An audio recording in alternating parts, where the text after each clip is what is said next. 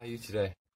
Is it not great to have your family around the whole time? Me, I'm loving it. Tell you what, let us close our eyes, let us pray. Thank you, Jesus, for looking after me and my family. Thank you, Jesus, for giving me this time with my family. Thank you, Jesus, that you love me and you love me totally. Thank you, Jesus. Amen.